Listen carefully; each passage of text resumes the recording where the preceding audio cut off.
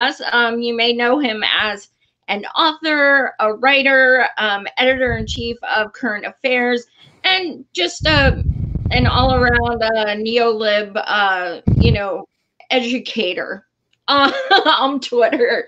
So thank you so much for joining us, Nathan. I appreciate it. Oh, it's so nice to be here. well, and you guys, as usual, feel free to add comments and I'll kind of scan what I can while we go through things.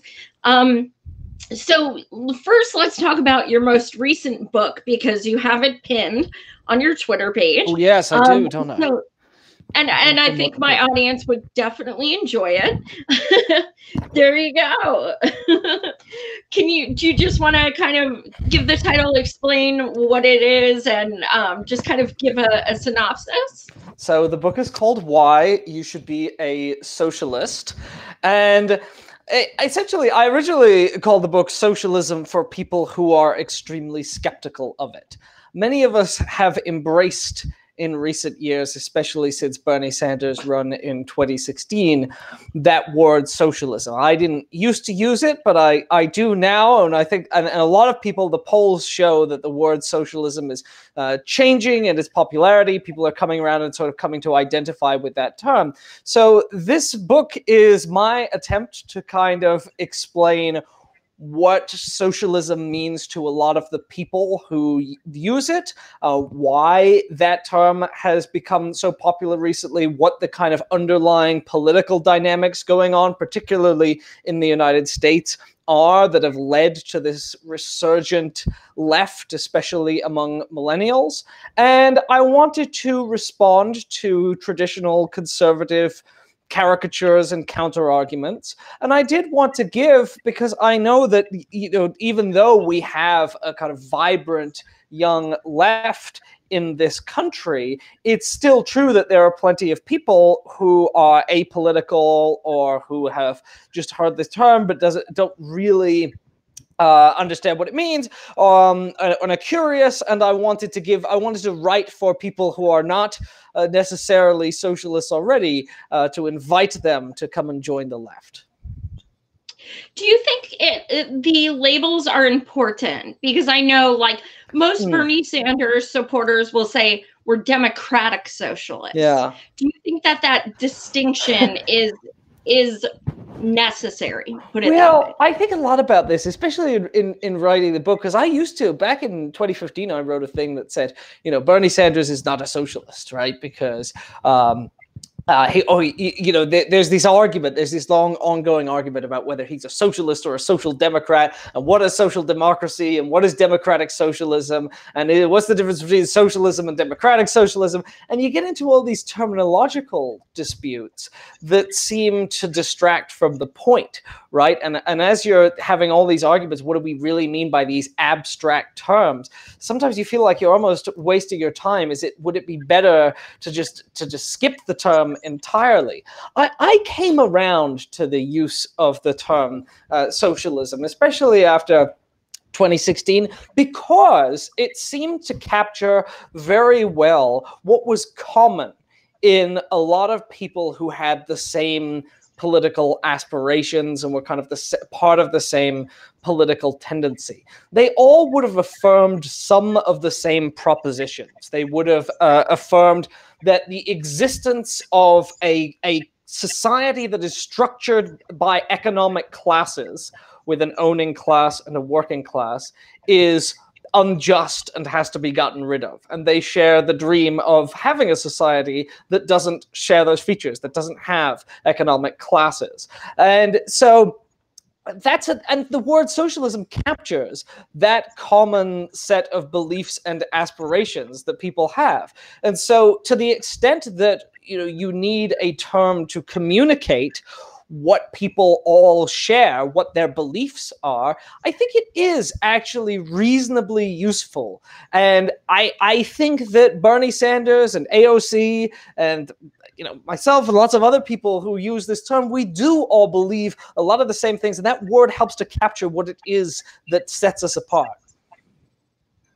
It's interesting because I've gone back and uh, you know looked at um, old articles and stuff from you know 2008 and stuff they actually called Obama a socialist.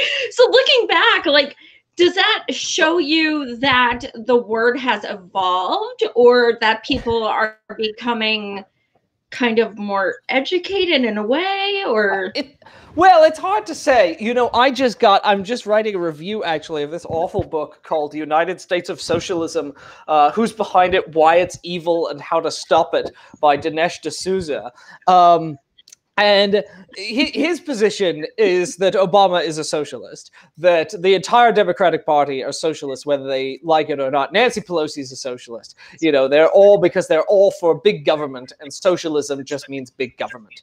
And so I, and I think that that stereotype still exists in many parts, especially on the on the right. I think the right doesn't really see a distinction between Nancy Pelosi and Bernie Sanders, right? Uh, or between Hillary Clinton and Bernie Sanders. I think to many conservatives, like they don't understand what the fight is about within the Democratic Party because they consider all of us a bunch of loony leftists, and they and so when you say no, no, no, they, those are centrists. We're the we're the leftists. Um, they don't they don't know what you're talking about because they think every because they've been saying for so long, as you as you cited, that just the Democratic Party as a whole is an extremist party bent on turning America into Venezuela. Um, unfortunately, yeah. that's so transparently stupid that it's actually made it easier for those of us who identify with the word socialism to reclaim that term because they spent so long uh, slinging it at Barack Obama and sort of draining it of its force. Absolutely. Now, what is your response to when you know people say um, they're commies? They're not socialists. They're commies. What is you know what's the best way to you know, kind of explain that to people, or do well, you just not even the, the best time? way? The best way to explain it is to give that person a copy of the book "Why You Should Be a Socialist." Good point. Good point. Because it's got all the answers uh, uh, to that. I mean. I guess, but the thing that, that, I that I say that we should do right is go well. Okay, call me social. You know, let's let's talk about what we're actually talking about. Let's talk about what are the common aspirations and views that people like Bernie Sanders and AOC and the millions of people who have been inspired by their campaigns, all the people in the DSA, what are the real things that they believe and want? What inspires them? What do they think ought to be different about society? And I think the word words like commie are designed to associate the left, obviously, with Stalinist tyranny with North Korea, right? They that's what they want you to think. But then if you start describing, and I describe in the book, and I think um, Bernie Sanders and AOC do a, do a great job too of, of like communicating what it is that we really want. When you describe the society that, that we want, that's not what it looks like at all. And in fact, you know, the word commie is, is used to try and suggest that we don't value civil liberties, to conjure gulags. But it's socialists who have been the foremost critics of the American prison system. It's socialists who have been saying we lock too many people up. There are too many uh, things criminalized in this country. The power of the state is too militarized. The police are too militarized. Well, if we were trying to expand the authoritarian state, that's not the argument that we would have been making. We would have just been saying we need to seize the militarized state for, for ourselves. But we're actually very strong critics of the overreach of state power. And we talk a lot about the importance of individual freedom. Absolutely. You you loosely touched on Pelosi and we were going to go into her anyway because I was reading I was rereading your article on her and she's just such a mess so I definitely wanted to address her in some regard. Um so, can you do you remember writing that article, and also do you want to like I'm just looking it up right now to to remember what I said. You've written so many. I know I churn them out at, such a pace now that I that I'm like people people say, oh, I remember this article. Uh, you were like, I I, I wrote about that. I, I did I did what? I said what? And they're always like trying to go like, you're oh, your terrible opinion on this. And I was like, I didn't even remember myself having an opinion on that. No, I I I, I found it uh recently. Yeah. I, I just I just found the article. Yeah, yeah, we could talk about it. Yeah. So what's your what's your take? Also, what what Pelosi has been doing lately with coronavirus? Also, Yeah. She's being challenged. Um, I'm having Shahid back on my show. Oh yeah, he's on. month. Yeah, yeah. I actually a few months ago I had him and the two other people running against Pelosi do a, a three person debate on my show. So it was really interesting.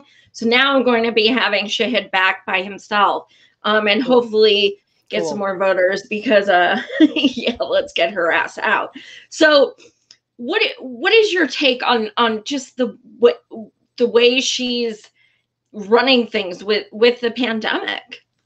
Well, I I before before the uh, we get to the pandemic, I, th- I think it's important to say why because I wrote that article before the pandemic, and and Shahid's uh, campaign, you know, started up a long time ago. So these these the problems that he identifies and that I identify with uh, her leadership have been there for a long time. And to me, it could be summarized by the fact that when Nancy Pelosi has been asked about things like Medicare for All and the Green New Deal, the sort of signature policy items on the agenda of the left, she's mocked them. She said the Green New Deal was like the Green New Dream or whatever.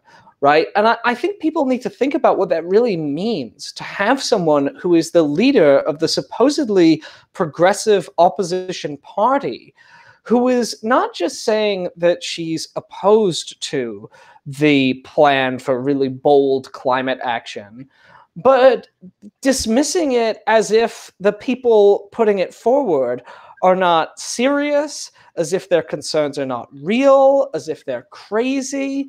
And she does the same thing on Medicare for All. And I think that that's, I just think that's unconscionable because the, the, the, the Green New Deal is being put forward as basically the only adequate approach to the scale of the problem that climate change represents. And she should know that because she accepts climate science. Uh, there's a great article in Jacobin called The Democrats Are Climate Deniers. And it's about Yeah. how a lot of the mainstream Democratic Party say they accept climate science, but they don't act in the ways that you would need to act if you if you thought that the findings of climate scientists were real.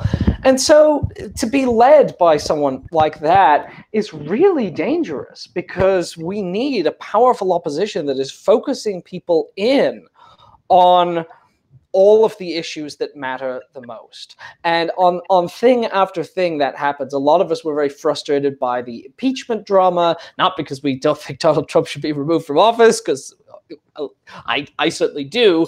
Um, but because it was about the, the the underlying subject was so far removed from the actual human toll of Trump's rule, and I think that that runs through the uh, the coronavirus response, right? Where yes, they have been they have criticized the Trump administration, but they have also been complicit in and supported one of the great uh, inexcusable injustices of this crisis, which is giving a totally inadequate amount of support to ordinary people and giving a, an inordinate amount of support to giant corporations.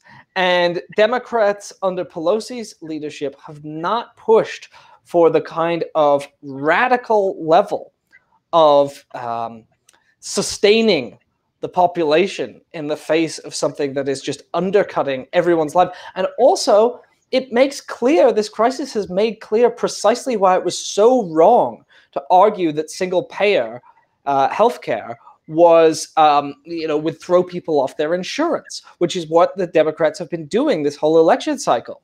Well, now we know that employer sponsored health insurance throws tens of millions of people off their health insurance in a crisis. And so that's the system under which people lose insurance. Under a single payer system, no one ever has to lose their health insurance ever. And so lies have been spread by by by Democrats, the people we need on our side, the people we need building a social democratic platform. And that's why I'm so excited about Shahid's run because you know he he really gets this. I I really don't think she'll debate him, but my no, God, no, would no, that be never. amazing? She won't. Absolutely No. not. that would be so phenomenal, though. It'd be fun. I, I digress, but I thought of something today that's terrifying.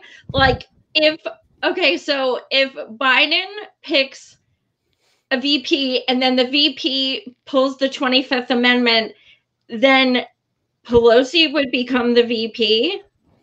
Is that how it works? I I have no idea how it works. Yeah. Unfortunately. Yeah, it I is, isn't it? If they, uh, yeah.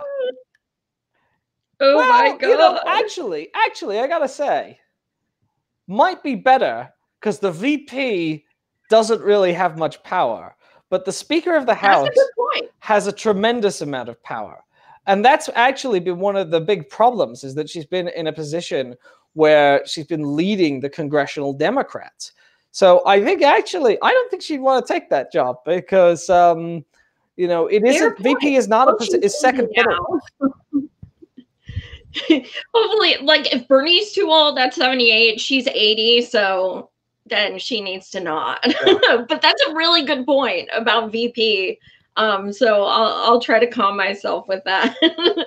um what else do I have? Um, you wrote an article, um, Donald Trump will run to the left. Mm. And you were right. You were correct. yeah. You were correct. I'll say it that way. Um, what is that? Um, what is your, you know, what kind of inspired you to write that? And Yeah. then also, you know, we've seen him do that Oh multiple yeah, yeah, times. yeah. Well, it happened in 2016, right? On certain things, um, you know, you know, you, Donald Trump sounded like uh, Bernie Sanders in many ways, where he's talking, uh, you know, about just how corrupt uh, the government is. Hillary Clinton being in the pocket of Wall Street, uh, voting for the Iraq War, uh, all of these things. You know, you know, NAFTA. He sounds like a, you know, he sounds like a union organizer on NAFTA, right? Um, and so that's an example of, of running kind of to the left. Uh, of course, he doesn't govern to the left because his administration is basically captured by you know free market ideologues. But um, but he runs to the left uh, because he he Donald Trump is a very savvy politician, and he knows what works, and he knows this is why he didn't want to get run against Bernie Sanders, and he's actually on tape saying he didn't want Hillary to pick Bernie as VP because he knew that Bernie's message would resonate with people. He says that. And and and now because Bernie's not the nominee because Joe Biden's the nominee and Joe Biden has these same vulnerabilities that Hillary Clinton had, it means that Donald Trump can come out and you know, I, I've laid out all of the ways in which he's. I mean, he's gonna he is going to talk about the 1994 crime bill. He does it all the time, right? He he he, he literally he ran an ad in the Super Bowl promoting his record on criminal justice reform, talking about letting um, black women out of prison, right? Uh, Like that's he's already running to the left. He's already setting himself up to say Joe Biden helped expand the prison system. I, Donald Trump, believe in justice. Joe Biden was in the pocket of big banks. I'm an independently wealthy person who's beholden to nobody. Don, uh, Joe Biden gave all these favors to Wall Street, right? That's that's kind of what he's gonna do, and has. I mean, it's not a, a prophecy; it's literally what he's what he's doing. And I think Democrats, many of them, still don't quite get that he does this, that he will do this, and that it's quite effective. Absolutely. We have seven months till the general, and Trump's already coming out with ads that just destroy Joe. Oh, I and know. Joe came out with that disgusting uh, racist oh, the ad. China thing. Yeah. Yeah. What you- was your yeah. reaction the first time you, you watched it? Did you see the uh, the Trump ad with the uh, Biden Biden doing the rambling and Obama watching it? Uh, yes. I mean, the thing is, it's kind of funny, right? Like it was like you could see how people are gonna laugh, and people are gonna laugh Mhm. because it's true. Because Biden is. I mean, he said that. That's a direct clip. They're not, you know. He gave the weird rambling story about the leg hair, and it was it was odd and off-putting. and he does things like that all the time, right? And and he's gonna just create more and more fodder for Trump. But yeah, when I saw that, I was, when I saw that China thing, um, it was really concerning because uh, you know, obviously, like criticizing Donald Trump for being too soft on China is a little weird, considering that my position is that Donald Trump is being unnecessarily aggressive and antagonistic towards China, and to try and goad him into being into greater hostility at a time when we need global co- cooperation to solve a global problem to goad him. It reminds me the way that you saw a lot of people who were saying when Trump met uh, when, he, when he went to North Korea when he had the you know when he was when he was extending diplomacy to North Korea right? People saying well oh you're coddling dictators. Well, I would be very careful about saying like Trump needs a more aggressive stance towards the, a country like North Korea. Diplomacy is good. We should want diplomacy. And but Democrats eh, have this position which is kind of reflexively anti-Trump sometimes, which is like if Trump does something it must be bad and if you if that's your if that's your position then you can end up sounding pretty right wing when trump does like a really unexpected thing like going like look at him sidling up to the Chinese, and you're like, "Who are you? What are you saying? What? What? This is not progressive." Mm-hmm. Well, Joe, a couple weeks ago, he was doing an interview, and he called it the Wuhan disease, and I was like, "Wait, didn't Trump call it that? Yeah. And weren't people freaking out?" So I don't know. I guess he didn't learn because I was like, "Holy shit!" Like he he said it. I couldn't believe. Wow. I, yeah. That's why they don't want him on TV. Like, even I something I noticed is even in Biden's own commercials, it doesn't even have his voice at the end saying this message is, mm. you know, approved by Joe Biden. Like, it doesn't have him at yeah. all. The less and I'm like, the better. Like they can't even get him to say that. Like, well, I, I, I don't know. Yeah. Well, you know, when back during that like critical week when everything was getting worse and Biden had like disappeared completely, mm-hmm. um, and if people say, "Where's Joe Biden? Why hasn't he made any public statements?" And he was like, "I'm building my TV studio." You know, I I I wrote one of I wrote an article saying, you know, we need to see Joe Biden in a moment of national leadership. You can't just disappear. And uh, then they actually started putting him out on interviews and on television, and I felt really stupid because I was like, "Oh, I should not have been asking for them to show Joe Biden on television."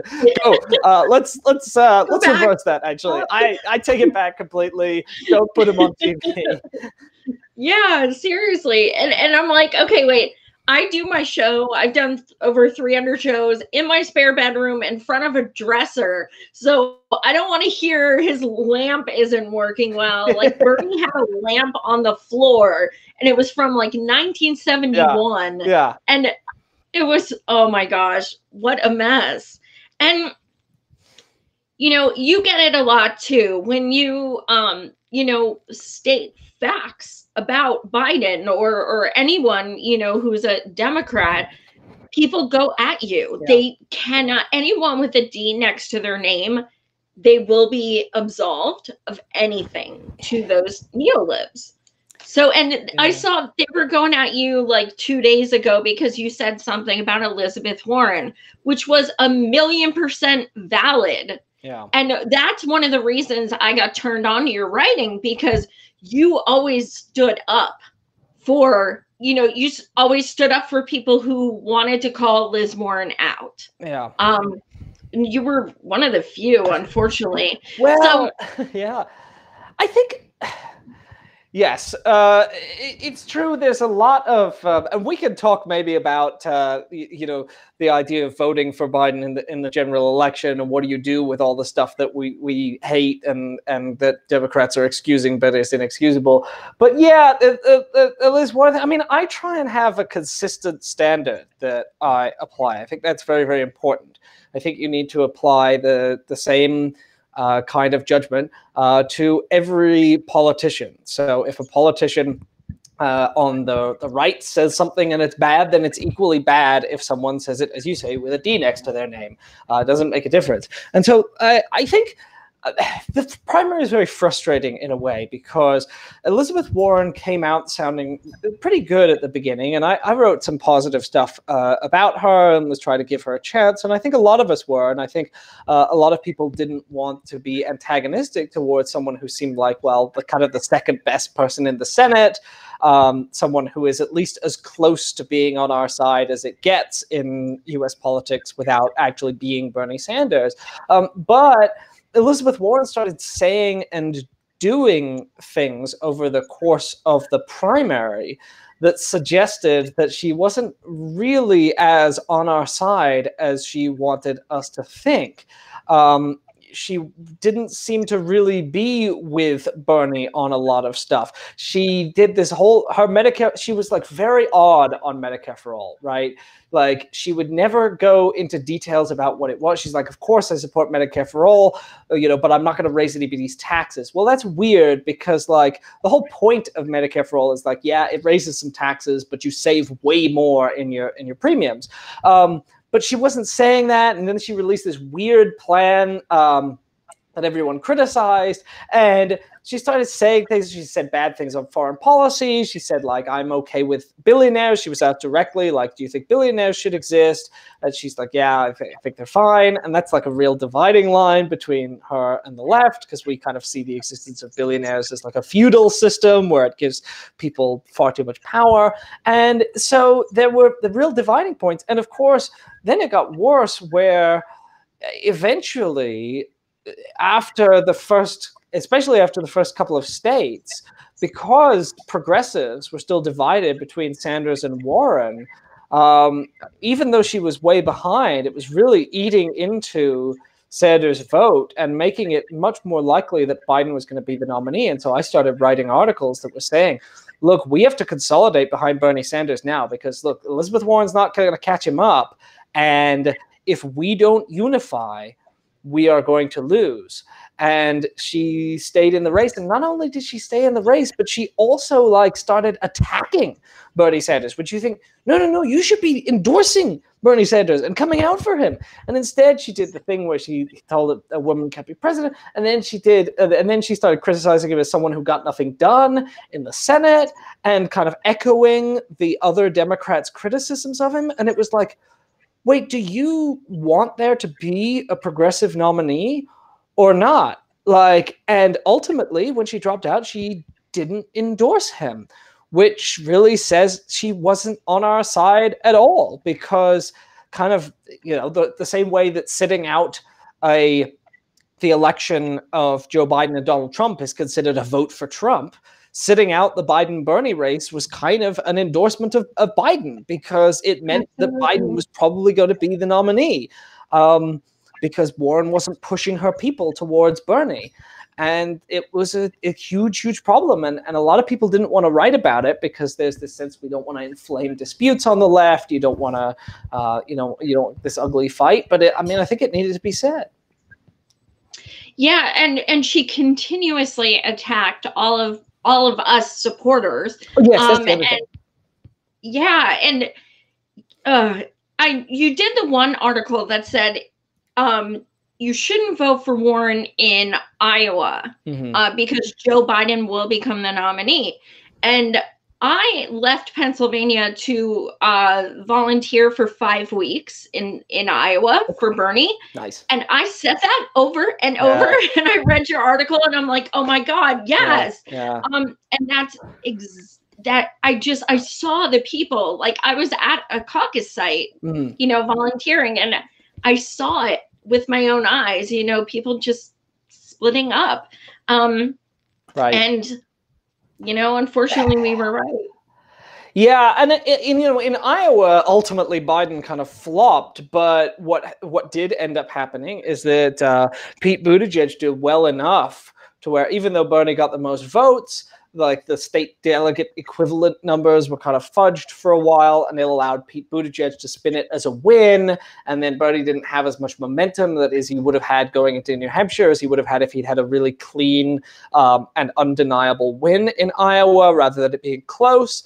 And that wouldn't have happened if uh, you know a, a fraction of the Warren supporters had moved over to Sanders in the recognition that we have to unite behind a progressive nominee, and voting for the second place candidate is voting for someone who is going to effectively spoil the election. You know, I I have always criticized. I criticized people voting third party in swing states in 2016. Is that I mean, I don't like Hillary Clinton. I wrote a ton of negative stuff about Hillary Clinton, but I felt like you know Donald Trump was so horrifying that you gotta you know vote for a Democrat if you live in a state where it matters. That's that's my position, and my it's the same position I had in this primary, which is like we cannot let Joe Biden win. I was screaming every vote in that article I had every uh, every time a progressive votes for Elizabeth Warren, Joe Biden's smile gets a little bit wider, and I had, I had a close up picture of his mouth just going. Yeah. yeah. now he's the nominee. Exactly, and I think we also saw that when um, it came time when all of a sudden, within 48 hours, here goes Pete, Cory mm-hmm. Booker um you know like everyone amy like they all just started dropping and dropping and i kept saying oh my god like this is so bad for us because they were dividing um and unfortunately yeah. the person who couldn't get votes anywhere except south carolina ended up being essentially the nominee because everyone else dropped out. Yeah. Um, so it's obviously not surprising Obama had a hand in this. Oh but, yeah, he's making calls. Oh yeah. Yeah. so what was did you kind of expect that? Well, I think I, I didn't expect, and I don't think anyone really expected that sudden, the suddenness with which it happened. Though, as soon as Pete Buttigieg dropped out, I did tweet I bet they're on the phone to Klobuchar now, and you'll see Klobuchar drop within a day. And then she did because it started to be obvious what was happening, which was they had realized what was, you know, what should have been obvious for a long time, which was that all of their centrist candidates were weak Pete Buttigieg was never going to break through with voters of color anywhere. So he couldn't be the nominee because the Democratic Party just has so many voters of color. So it couldn't be Pete Buttigieg. Amy Klobuchar was not popular enough outside her home state for it to be her at all. Um, so the and Cory Booker um, and people like Julian Castro, I think, get dropped even earlier. They had um, already they would their poll numbers were just so low to where it was never going to be them. Um, Kamala Harris, who seemed like she would be a pretty formidable contender, had dropped out way earlier before the voting even started. Uh, and so it had to be Joe Biden by just process of elimination. So they thought, well, if we don't try and push Biden through now, Bernie's going to be the nominee. And there were plenty of articles that they were they were quite open. A lot of Democrats, yeah. you know, you know, big big donors and top party officials going, we have to stop Bernie we need to do anything we can to stop Bernie. And even though they all knew that Joe Biden was a bad candidate um, and, a, and a risk, they had no alternative because of that process of elimination and because he just won South Carolina. It had to be Biden. Um, so they jumped in behind Biden. Do you think that they're aware that he may not make it, like cognitively? Um, is he's made a few statements that the whoever the VP I pick is, they're gonna have to be ready to immediately step like immediate and I mean that. Like I mean immediately. Like, gonna... like he said in June. That yes. that's what he said, literally yeah. in June. And I'm just kind of like wondering if they're kind of toying with the 25th Amendment because he almost sounds like he expects he's not going to like yeah last I know. I've heard. I've heard him say things uh, like that too, and yeah, you wonder. Uh, I think there is a lot. I know there's a lot of talk that says, "Oh, well, you know, they're going to replace him." People are. I know that there's a lot of sort of people in the Democratic Party who are like, "I'm not too confident. What if we bought here?" But again, they did it because they had no alternative right? They had no alternative but to do this. And I think the problem is now there isn't an obvious way out. So there's a, a you know, him him literally stepping down and putting someone else in his place is just such an anti-democratic thing to do after such a long primary. I mean, you know, there is a mechanism. I mean, he'd have to voluntarily step down, but like, you know, if Obama calls him and goes, Joe, you have to step aside for the good of the party, we'll make up a story, um, you know, it, it could happen. Uh, you could do that, or you can, you know, plow through the the general election and I don't quite know how that's going to work because you already see Trump's ads are very good. He's going to be great in the debates. I mean, I'm just going to cringe watching the, the debates because I don't think. Although, you know, Joe Biden's weird because, like, one thing I have noticed is, you know, you got all these terrible clips of him, but if you watch the whole interviews, he's like, he's he's coherent for most of them it's like like like it's like eighty percent of the time, maybe eighty five. He's like he's like kind of he sounds like a normal person. But then every interview has one of these just little moments that becomes the clip, and it's the only clip that anybody sees. Like Joe Biden's final debate with Bernie Sanders, he did an he did a fine job actually. He it, did. It was it was not bad, and um, I'm like, I'm hoping that they're gonna pump him full of whatever they were pumping him full of for that debate, for the Trump debate, because he might do exactly. Okay, but it just feels like such a risk. It does. It absolutely does. Oh my god. I yeah, I mean Trump agreed to debate Bernie in 2016 and then he dropped he out, out, and backed out. And I'm like, "Oh my god, he he is so terrified of Bernie, but Biden, he's just he's going to be like Hunter, like he's just going to bring all kinds of crap up." Cuz you don't back out of a debate that you think you're going to win. Right. Sure. If he thought he was going to do really, really well against Bernie, he would obviously go through with that debate. But what he realized what Trump knows, because Trump is, is pretty savvy. Like he's not book smart. He's an idiot, but he's like smart, like a con man is smart. And so he's not educated, but he he he he knows politics, and he knows, and he's smart enough to realize that Bernie Sanders has something. And he's watched, he watches Fox News all day, so he's seen when Bernie goes on Fox News, and he's seen that Bernie does a really good job on Fox News, and that Bernie knows how to pitch his politics to an audience that doesn't agree with him and that actually just saying the word socialism just literally sets him up to go like well my socialism means i believe this that and the other thing. Do you not believe in those things donald? Because uh, no. i you know i think they're fundamental human rights. And uh, I, I think trump realizes what would happen. Yeah absolutely. And Bernie, since day one, has been like, I'm going to blow up your tweets on the Senate floor. And I mean, mm-hmm. he has called him a racist, xenophobe, and, you know, sexist yeah. since literally day one. No one else has. So I think, in a weird way, he kind of respects Bernie because of that, just because yes, so, I think you're right. Yes.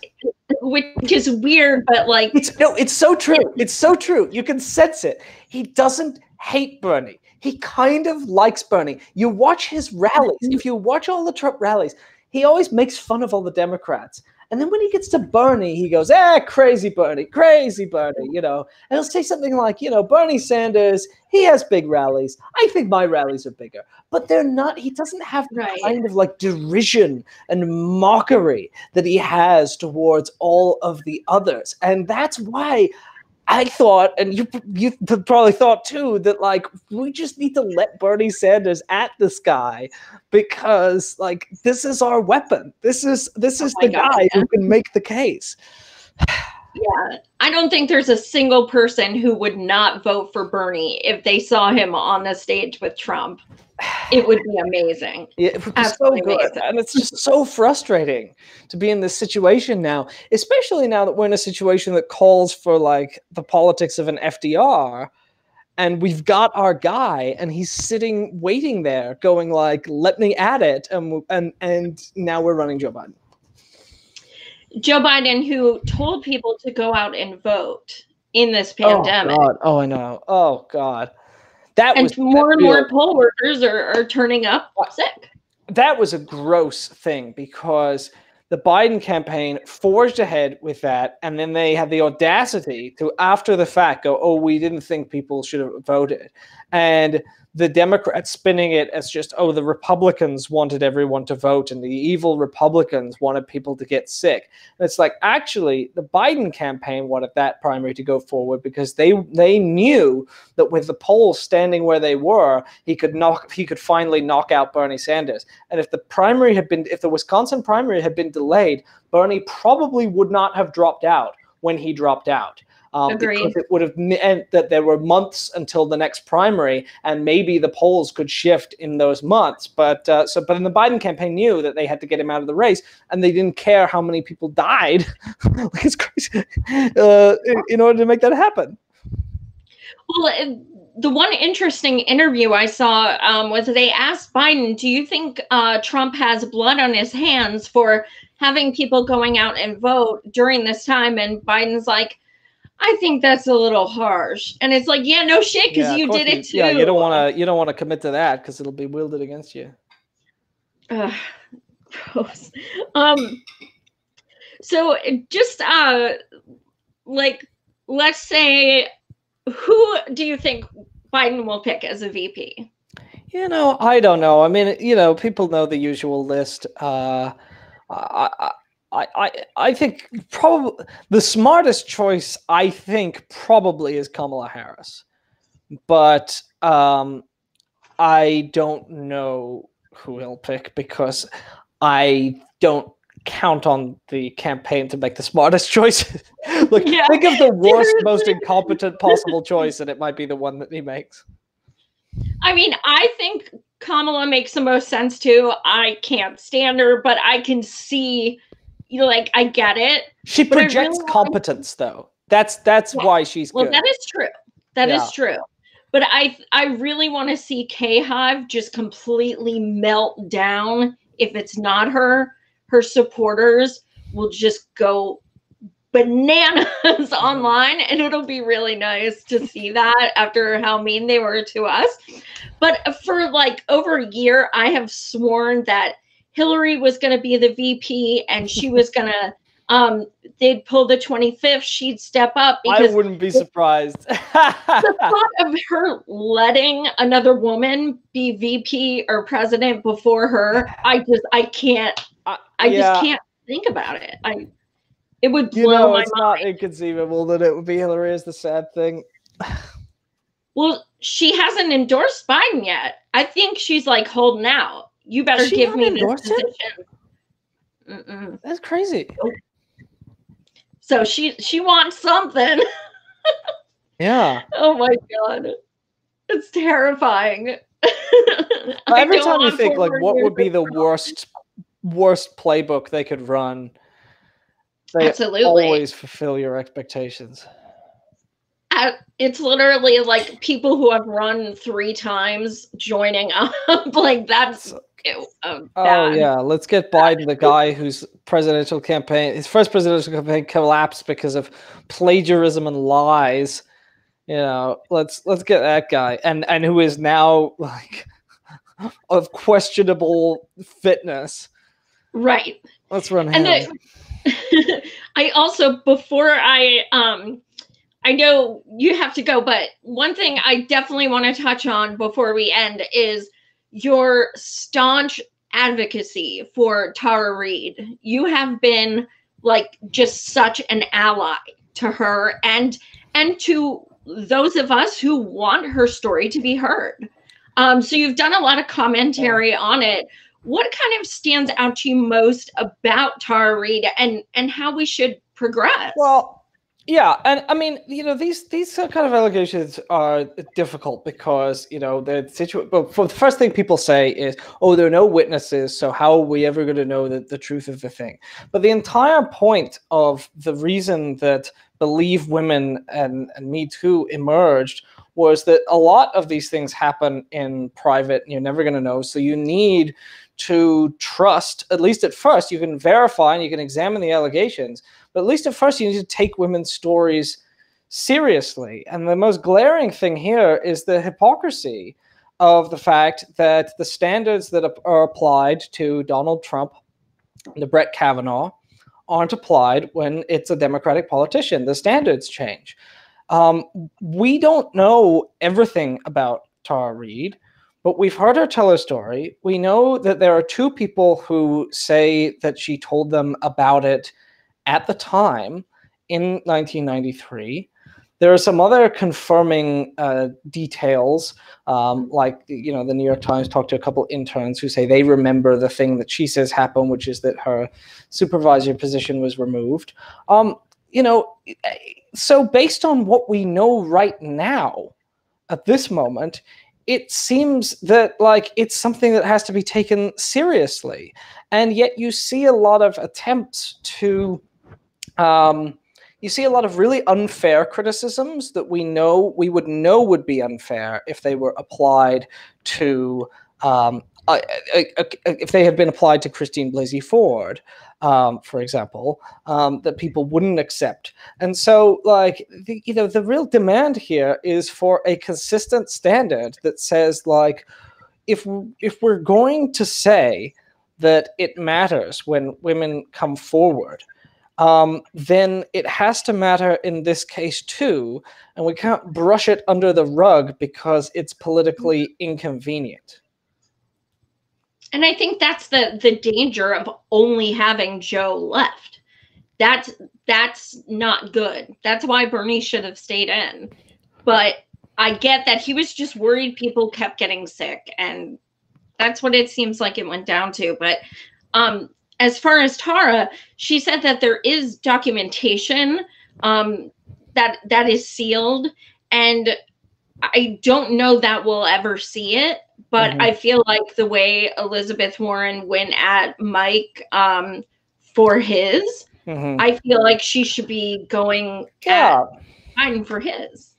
Yeah, right. Because if there's nothing to hide, then you know you shouldn't you shouldn't be afraid to have the records examined. Um, if there is something to hide, then you know, then that's obviously why you're keeping it sealed. So, like, you know, if there's nothing to hide and it turns out that there was never a complaint filed and actually this wasn't true, um, then that would presumably um, come out or they'd have some proof or they'd have you know what i want is them to offer an alternate explanation for why her her intern supervision duties were taken away you know if it's not because of the reason that she says then why is it um, and Joe Biden hasn't been asked about this once. Um, Bernie Sanders been asked. You know, uh, yeah. w- women who ran against Joe Biden even have been asked. And Joe Biden hasn't been asked. And so, you know, they're not they say that they're you know trying to verify this and they're just putting the kind of scrutiny on it that and that you need before making a, a, serious accusation. But it's quite clear to me that they're not asking the kinds of questions that you would ask if you really did take seriously the philosophy that this stuff is serious and has to be taken seriously. Absolutely well, thank you so much for joining us. I appreciate it. I love speaking with you. Um, there's a lot of comments um, if you want to read afterwards. But yeah, um, hello to everyone. Uh, definitely follow Nathan on Twitter. Why the hell did you delete all your tweets? Oh, I just like Twitter. So, oh, I've gotten rid of my tweets now. I'm, I mean, I'll probably, I'll probably tweet more eventually. But I just, like, I was like doing my research for tonight, uh, and I'm like, what happened? Well, I can send you. I downloaded them before I before I deleted them, so you can. Oh, that's uh, smart. You, you know, you, you, can uh, you can look into the archives when whenever you like. I just want to like. Oh, it's such a mess. I was just combing through and I was like, I get into so many arguments. And someone told me, they said, You're one of my favorite accounts. And I remember people used to say you're one of my favorite writers, and I was like, I need to get back to being more, slightly oh. more productive because I'm becoming too much of a, a, Twitter account and not enough of a magazine writer. And I need to refocus. I need to use this opportunity to refocus on my magazine writing. So, people, if anyone follows me on Twitter, they might not see much for a while. What they should do is subscribe to the magazine Current Affairs and uh, and uh, read our magazine at currentaffairs.org. Awesome. Thank you so much again. Um, you guys, I have ridiculous shows coming up. Um, so I'll post a link with all of them. Tomorrow night, I have New York candidate Lauren Ashcraft coming back. Um, she's awesome. I have writer Eric Blanc coming. Oh, he's great too, yeah. Yeah. As, and I have Shahid coming up. I have I have so many. I, I'm That's quite a guest list. so. You got all the heavy What's hitters. that? That's quite a guest list. You've got all the heavy hitters. You got Oh yeah, yeah. Wow. I I do all right. Honored Thankfully. to be included among them. Oh, thank you so much for joining us, Nathan. I am so glad I got to speak with you. I uh, I hope we do this again. I hope we do this again. This was real fun. Absolutely. Thank you so much. Thanks for watching, guys. Bye now. Bye bye.